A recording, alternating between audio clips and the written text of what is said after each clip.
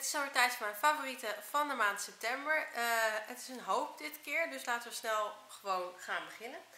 Uh, er zitten een aantal wat duurdere en een aantal wat goedkope producten bij. Ik ga ze gewoon door elkaar doen. Uh, mijn eerste favoriet uh, zal je vast niet verrassen. De Bobbi Brown Shimmer Brick in Nectar. En dat is deze kleur. Echt, ik ben dol op dit spul. Ik heb het nu ook op. Ja, ik weet niet of het camera me overkomt, maar glans is prachtig. De kleur vind ik prachtig. Het is gewoon swoep swoep en je ziet er weer uit alsof je nachtenlang heerlijk hebt geslapen en een hele fijne glow hebt. Dus ik vind het echt super fijn spul. Het is een enorme uitgave, maar ik heb het van mijn verjaardag uh, mezelf cadeau gedaan. Ik had geld gekregen en daarmee, dus um, ik had geld van mijn ouders gekregen en van de ouders van Sven. Dus daarmee mocht ik dan dit soort, dingen, dit soort dingetjes kopen. En ik vind deze echt super fijn. Ik ben er heel blij mee. Stond al heel lang op mijn verlanglijstje. Nectar is volgens mij een limited edition, maar dat weet ik niet zeker. Um, want dat had ik volgens mij ergens gehoord, maar ik, op de site kon ik dat niet zien. Um, maar ze hebben heel veel kleuren en voor ieder, ieder wat wil. Nectar is een vrij uh, roze, persikachtige kleur. Maar ja, ik vind hem prachtig. Dus ik ben hier echt super blij mee. Waar ik ook al heel lang, uh, wat ik al heel lang wilde, was deze. Dit is de Bare Minerals uh, Complexion Rescue. En ik heb de kleur Natural 05. En die heb ik volgens mij nu ook op. Ja, volgens mij wel. Super fijne uh, crème. Ik heb hem nog niet heel lang. Dus ik kan nog niet echt zeggen dat ik hem al uitgebreid heb getest. Maar ik, de eerste keer dat ik hem opdeed dacht ik al. Yes, dit is wat ik zocht. Het is een soort BB-achtige uh, uh, substantie. Het is iets meer gel.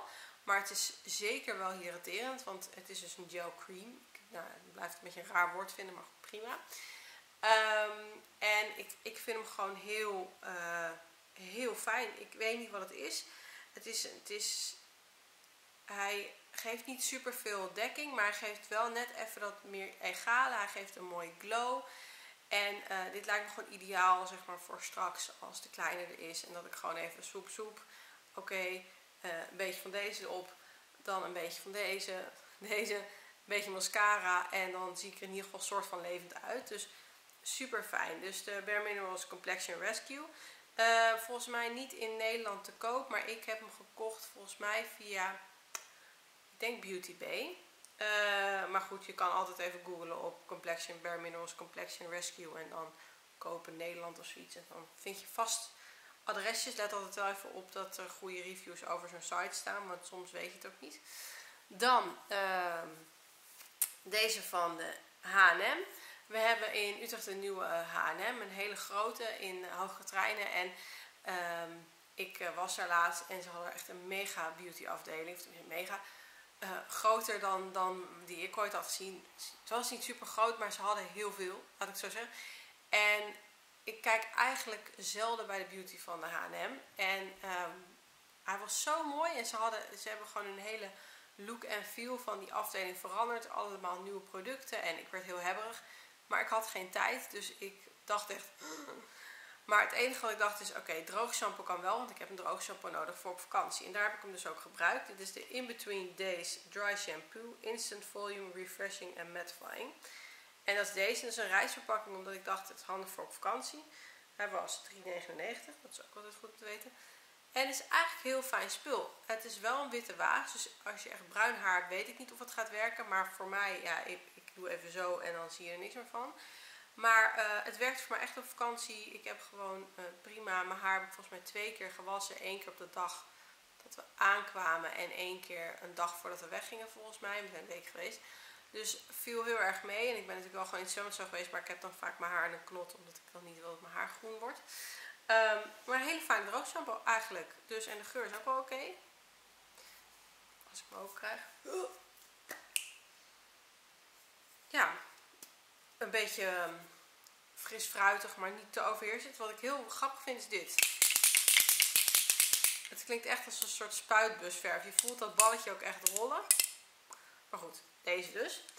Dan, ik heb geen idee of dit in Nederland verkrijgbaar is. Maar ik was in Frankrijk en uh, daar kocht ik wat spullen bij een soort ja, drogistachtige winkel. Uh, van La Roche-Posay onder andere kocht ik mijn lievelings dagcreme. Dus het was misschien wel een soort luxe drogist, weet ik niet. We hadden er ook gewoon bioderma en zo. Ehm, maar die vrouw die gaf mij allemaal proefmonstertjes mee, onder andere deze. Dit is Mustela en dit is speciale uh, stretch mark prevention oil, dus zeg maar tegen um. En um, nou ja, dat zou de elasticiteit van je huid moeten doen. Het is 0% parabenen, nou ja, van alles en nog wat. Ik kan het natuurlijk niet lezen, want het is in het Frans. Uh, maar ik wil hem toch even laten zien, want wie weet, weet een van jullie kent dit merk misschien. En die zegt, oh, dat is daar of daar verkrijgbaar. Ik had er echt nooit van gehoord, maar ze zei van, oh, for you. En ik had echt, nou ja, zo'n acht van die pakjes meegekregen. Het is echt zo'n fijn smul. Het, het, het gekke is namelijk dat het, oh, in Nederland staat er achterop ook oliepreventie zwangerschapsstreamen. Op betrokken zones masseren. Gratis staal mag niet worden verkocht. Nou, prima. Zit ook niet heel veel um, uh, ingrediënten in. Het is vrij natuurlijk allemaal, voor zover ik het kan ontcijferen. Ik heb er nu nog drie, dus ik heb er nu vijf gebruikt. En het is gewoon een hele dikke olie, maar hij is echt, oh hij is zo fijn. Dus als iemand weet waar je dit in Nederland kan krijgen, let me know. Ik vind het echt heel fijn spul. Of het echt tegen strié helpt, dat zal ik maar willen vragen. Maar het voelt in ieder geval heel prettig op je buik en heel hydraterend. Dan, even kijken. Deze van L'Oreal. Ik weet niet of ik hem al eerder heb laten zien. Dit is de L'Oreal Colorige L'Ombre Pure. En dit is de kleur Nude. Of 201 Café Saint-Germain. En het is een hele mooie kleur. Volgens mij ik hem nu ook op mijn bewegend ooglid op. Deze, een hele mooie toopachtige kleur. En dit is, ja, ik vind het gewoon heel fijn spul. Dus ik kan hem even laten zien trouwens. Oh, dat komt lekker over op beeld. Hallo? Het is een, ja, ik weet niet of je het goed kunt zien, maar het is een soort uh, toopkleur. Vrij licht, maar als je hem op je ogen doet, dan geeft het echt even net dat beetje extra. En je bent gewoon heel snel klaar. Ik doe dan woep woep en dan is het wel een soort van uh, af. Vind ik dan.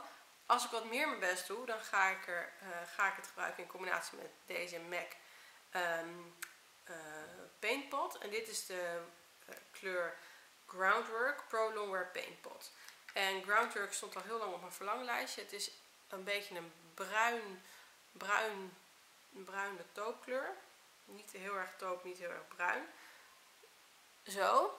En die kan je ook dus als basis gebruiken voor je oogschaduw, maar ook prima op zichzelf. Dus dat doe ik allebei. En oh, dat kan ik nu misschien wel laten zien. Als ik hem dus als basis gebruik, dan is het gewoon alleen maar uitsmeren en dan klaar. Um, maar ik gebruik hem dus ook vaak in combinatie. Ik heb iets verkeerds op die oogschaduw gebruikt. In combinatie met die oogschaduw. En dan wordt die oogschaduw, zoals je ziet, veel intenser. En dat vind ik ook echt super mooi. En blijft echt zitten als een huis. Dus dit zijn allebei favorieten van de afgelopen maand. En ook weer in het kader van lekker makkelijk voor looks voor straks. Ja, ik denk vooruit hoor. En dan nog twee dingen die ik in Frankrijk kocht. En die nou, deze is denk ik niet in Nederland verkrijgbaar, maar misschien ook wel.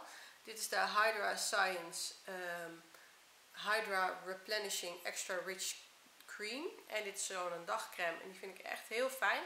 Oh, het staat er wel in het Nederlands op, dus misschien wederom als je weet waar deze in Nederland verkrijgbaar is, let me know. Echt denk ik ook heerlijk voor de wind. Het is echt een hele voedende crème. Hij trekt wel snel in, dus je kan wel snel daarna je producten opsmeren. En ik vond hem gewoon heel fijn. En ik heb hem daar gekocht omdat mijn huid uit elkaar viel. Allemaal schilfers. En deze redde het gewoon in één dag. dacht ik, oké, dit is weer mijn huid. Dankjewel. en uh, wat ik daar ook gebruikte was de Neutrogena Visibly Clear 2 in 1. Uh, een reiniger en een masker. En uh, vind ik eigenlijk heel fijn spul. Het is een soort kleiachtige substantie. Met een klein scrubachtig iets erin. De geur vind ik een beetje twijfelachtig. Een beetje um, klei meets kauwgom. Ik weet het niet. Uh, maar ik vind het wel heel fijn spul. Mijn huid die reageert er heel goed op. Uh, ondanks dat het een beetje kleiachtig is, is het totaal niet uitdrogend. Um, dus ik vond het eigenlijk heel, heel lekker. Dus deze. Weet ik ook niet of die in Nederland verkrijgbaar is. Maar hè, ik hoop maar dat jullie me kunnen helpen. en als laatste natuurlijk een van mijn nieuwe liefdes. Het Urban Decay Naked Smoky Palette. ik vind de verpakking, kunnen we hier even een momentje bij stilstaan. Ik vind de verpakking zo ontzettend mooi. Het is natuurlijk totaal niet praktisch. Ik bedoel, dit neemt echt niet heel erg licht mee en handig en zo. Uh, maar goed, hoe vaak neem je dat nou mee op vakantie? Ik neem toch vaak hele kleine paletjes mee op vakantie. Dus dat boeit me eigenlijk niet zoveel. Maar het is echt oh, zo pretty. Het is sowieso de mooiste verpakking. Sowieso de mooiste verpakking van alle naked paletten. Um, en dan de kleurtjes. Nou, ik vind het niet echt naked, want het is ook zeg maar smoky. En smoky is volgens mij niet naked. Um, maar goed, ik heb vandaag heb ik volgens mij deze kleur in mijn crease.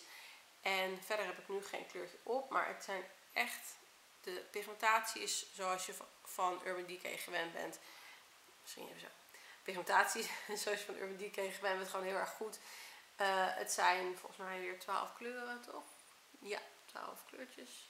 Zeg ik nog goed? 1, 2, 3, 4, 5, 6, 7, 8, 9, 10, 12 kleurtjes.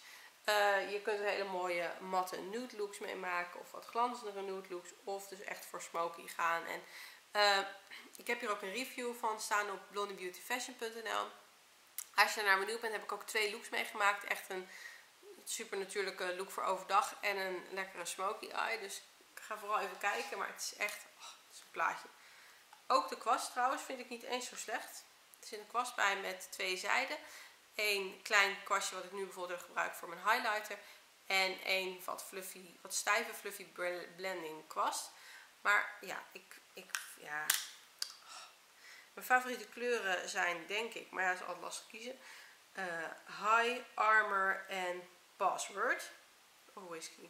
Nou, ik zal het even laten zien. High, dat is echt een, uh, een, een, een glitterige, of een glanzende, oh hier, high, glanzende highlighter. Dan uh, Armor, dat is echt een soort, nou ja, wat je wat je, voorstelt bij een, de kleur van een ridder outfit, maar dan met glitters erin. Het zijn behoorlijke chunky glitters, maar ik vind het wel heel gaaf, juist bij zo'n smoky eye, om het een beetje, uh, ja, lichter te maken of zo. Even een beetje. Um, dan, oh, Dagger vind ik trouwens ook heel mooi, is een donkergrijs kleur. Dan Password, dat is een beetje een, ja, echt een hele grauwe, donkerbruin grijze kleur. Maar hij is super bijzonder en ja, ik heb hem dus nu ook op, maar heel licht, want je kan hem echt super heftig aanzetten. En de whisky, die is, uh, in hij lijkt vrij bruin, maar hij heeft echt ook wel een behoorlijk, uh, ja, een beetje grijzige ondertoon. Of echt een beetje een koelere ondertoon dan je normaal van bruin zou verwachten. Je ziet hier een klein beetje. Ik vind het echt een heel fijn palet. Ik weet niet of het echt een naked palet is, maar ik ben er wel heel blij mee. Want ik denk ook hoeveel naked paletten kan je maken. Maar ik snap wel dat ze de naam willen gebruiken, omdat die natuurlijk altijd, ja, die zijn over het algemeen worden die vrij opgehemeld. Um, maar ja, ik vind het gewoon een heel fijn palet. Dus uh, een aantal wat duurdere dingen. Normaal heb ik alleen maar budget, zoals je weet. Maar ik probeer nu wel um, uh, ja, wat meer te kiezen van dingen die ik echt heel graag wil. En ik probeer niet uh, elke keer meer de, ja, de hele Catrice en essenschappen leeg te roven. Dat doe ik nog steeds wel. En ik vind het ook nog steeds het allerleukst om mooie budget finds te vinden. Alleen, um, ja, ik wil nu gewoon snelle, makkelijke, goede producten. En absoluut ben ik pro, nou jullie weten het, ik ben dol op budgetproducten. En ik vind vaak ook dat high-end producten een beetje overrated zijn. Maar er zijn van die, um, van die producten waarvan je echt denkt, ja, dat, dat, dat is gewoon net even iets beter dan de budgetproducten. Dus daar ga ik dan ook af en toe voor. Vind ik dat ik mezelf ook wel een beetje mee mag verwennen. Zeker als ik het geld voor verjaardag heb gekregen en het daarvoor kan inzetten. Um, maar ik blijf natuurlijk uh, ook een grote koopjesjager. Dus ik hoop dat jullie het weer leuk vonden om te zien. Dat was een hele, heel raar einde. Toch hoop dat je het leuk vonden om te zien. Uh, ik ben heel benieuwd wat jouw favoriete product is van de afgelopen maand. Laat me hieronder weten in de comments. En super bedankt voor het kijken en ik zie jullie snel. Doeg! Knijpen en uh, nou ja, masker en klaar. Dus dat vond ik echt briljant. Ik snap niet hoe het werkt, maar